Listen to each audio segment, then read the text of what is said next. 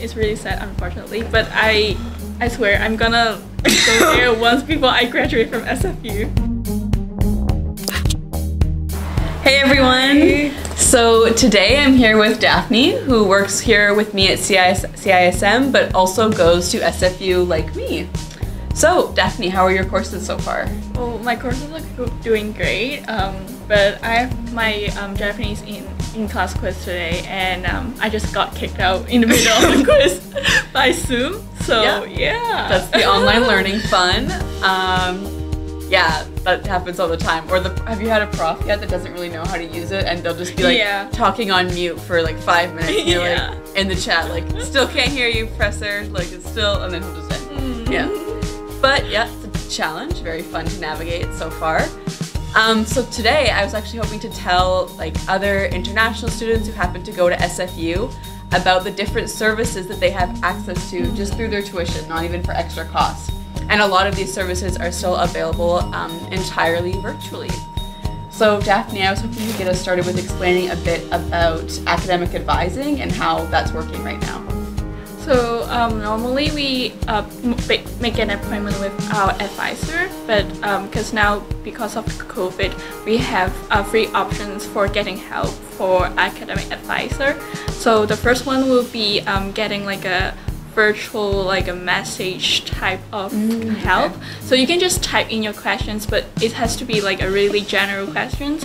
Um, if you are want to ask more complicated questions, you might have to make an appointment um, with your advisor. So the option two will be uh, like a drop-in section. So um, they have like office hours every day. I think it's from 11:30 to 12:30, and the second section is from 1:30 to 3:30 from Monday to Friday. So um, you don't have to make an appointment for that option. You can just drop in and see if there are advisors that are free. Um, they can help you with whatever questions you have. And the last option is to make an appointment uh, with your advisor um, on phone or even on Zoom. So um, it will be like a 30 or to 60 minutes uh, appointment. Um, you can ask more like a deeper questions like uh, what should I do with my majors? Uh, what should I do if I'm on academic probation? That kind of stuff. So yeah, it really depends on like what you need and what question you want to ask. Yeah, I found academic advising to be um, really helpful for course selection because they tend to know what courses they're going to be running even like two semesters ahead, which is information we don't usually have access to. So it's really helpful for like planning ahead on your courses and making sure you can still finish your degree when you want to finish it. Um, and it's really similar to career services. So career services works pretty much the same, only it's entirely focused on what you want to do post grad. Um, but they can help you explore like what kind of careers could come out of the major you're taking, help you gain experience, whether it's directing you to co-op or to different internship opportunities. And then they also help you with the job search section. So when you're trying to get a job post grad, you can go to them and they'll actually connect you with employers um, which can be really helpful. And they also host a lot of events. So two virtual com- ones coming up are um, there's one for all undergrad students, but especially students in environment um, and arts and social science to learn about what it would be like to work with the federal government. And then there's one for business stats and comp sci students with an employer called FDM. So they can learn about all about how those companies work and what to do to make your application stand out. So definitely check them out. They're like a if you already go to your co-op advisor, you should check them out as well. Mm-hmm. I heard that they also have resume and cover letters. So Yeah, and right. interview help. So Yeah. same way with advising, you can book one-on-one appointments. Um, bring in your resume, bring in your cover letter, or in this case, share your screen, um, and they can help you edit or go through a practice interview with you, which is pretty useful if you're looking for jobs or, or a co-op even right now. yeah. Yeah. Um, did you know anything about the academic writing assistance that's currently available through the library? Oh, so I've been there for a few times. Um, I've been there to discuss my paper uh, with like uh, graduate students or even like a master students or PhD students.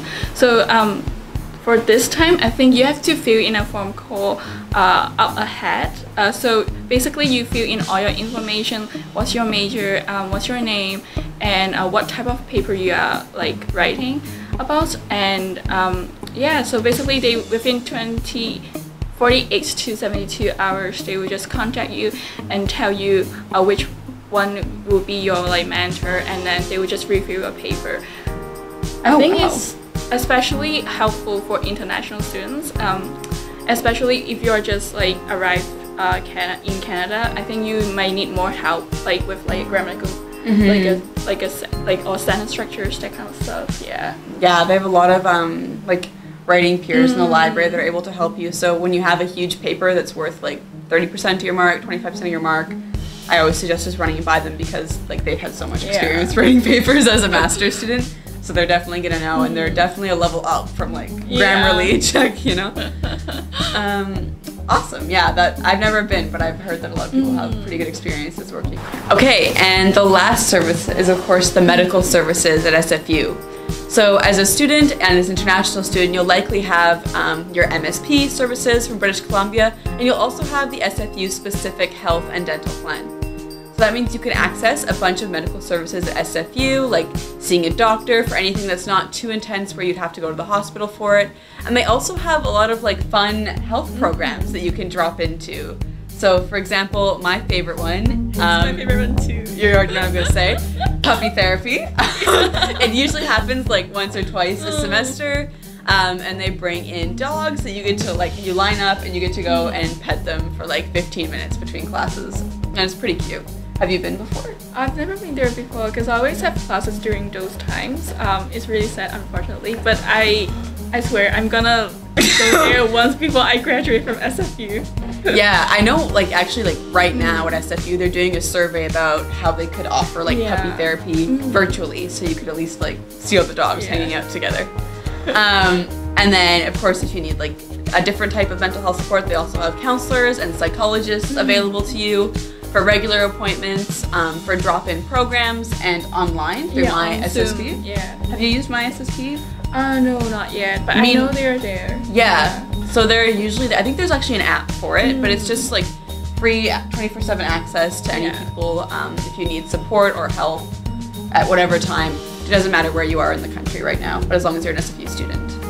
And then another one, I don't know if you've heard about this, but they have like as I mentioned, they have a lot of different health events where they'll have like mindfulness sessions, meditation sessions. They'll put out like little courses on how to reduce anxiety, but they also sometimes offer um, yoga and sometimes like With on campus, yeah, and yeah, it'll be like with buddies. So you get to go to like the yoga studio on SFU by the gym, Yeah. um, and go into a yoga class and do. I've never done this, but I've heard of it, and you get to do yoga with bunnies, Yeah. which could be quite relaxing. Mm. I mean, I'd be scared about crushing the bunny, but I know it like it tends to like the tickets fill up and it gets really full. Yeah. So that's another service that you could also use um, as a part of SFU medical services. Yeah, so I hope that was helpful for you guys. There's actually quite a few services out there on Canadian universities that you technically do pay for in your tuition and like activity fees, but then you Yeah. don't even know about them. Like the academic writing one you mentioned Yeah, with like the academic writing one. Um, there's also a website called um, Write Fast. So it's like a free free website. Um, you can just upload your um, assignment or even your paper, and then people would just like comment below and Yeah, Yeah, which is like insane. Someone will just peer review your work Yeah. for you For without you even like for free without you asking. yeah. So services like that that you might not even know are around are really helpful to know about. So I hope that if you're going to SFU, you'll keep those four services we mentioned in mind and then you'll be ready to go. All right, so if you're a new student or a student planning to come to SFU, make sure you keep these services in mind. It's really helpful to know before you're like in your third year and then you didn't even know there was bunny yoga. yeah. So that was our SFU themed video. Of course, we'll be putting out more content on mycism.com, our website, and our YouTube channel, Official CISM. So if you see us over on our YouTube, make sure you like the video and subscribe for more content. Maybe in the future, Daphne and I will do another one that's SFU specific. All right, thanks everyone. See you later. Bye. Bye.